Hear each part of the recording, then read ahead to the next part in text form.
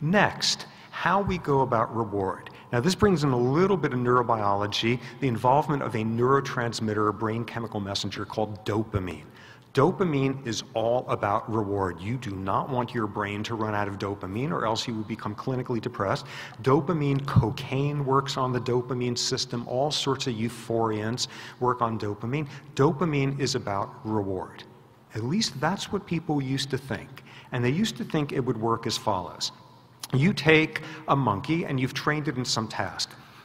You give it a signal, a light goes on in its room, and that means, okay, this task is about to begin.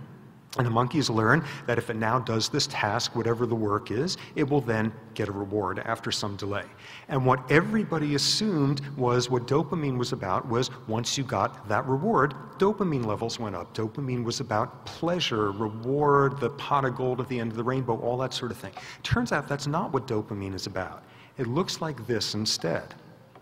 You've got this monkey trained to do this task, and the signal comes on saying, okay, we're starting one of these sessions again, and then the dopamine goes up. What is this about? This is not pleasure of getting the reward. This is, I know how this one works. This is great. I'm all on top of this. I know exactly what to do. Piece of cake. I got this under control. I'm on this one. It is not about reward, it's about the anticipation of reward.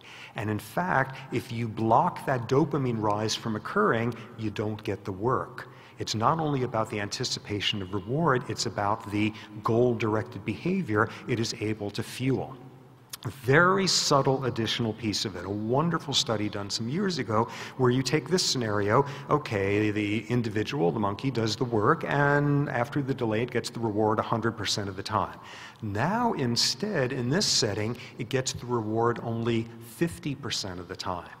What happens now when that signal comes on? What it looks like is this. You switch over to 50% and the dopamine levels explode through the roof there. What have you just done? You have introduced the word maybe into your equation. And that is reinforcing like nothing on earth. That signal comes on, and that monkey is sitting there saying, piece of cake. I'm on top, but I'm such a screw up, and I'm not going to be. Oh, but today I'm today I'm going to be. No, it's not going to work out. And you just have them teetering there on this fulcrum, and that is pushing dopamine out like there's no tomorrow. Just to show that now instead of a 50% reward rate, give the monkey either a 25% or a 75% reward rate totally opposite things. This one is bad news, this one's good news. What's the one thing they have in common? Both reduce the unpredictability, both lower the dopamine surge to the same extent. Take a monkey, and there's nothing more addictive out there than the notion that there's a reward lurking out there, and it's a maybe. And what some of our best social engineers, many of them making a good living in Las Vegas, learn how to do is how to turn what seems like a 50% reality of reward to make it that salient when it's one tenth of a hundredth of a percent of a chance of reward. How to make one get that dopamine surge and get that goal directed behavior out of there. So it turns out that brain chemistry works exactly the same way in us. In us, dopamine is about the anticipation reward, uncertainty boosts it up further, it drives the work needed for the reward. What's unique about us?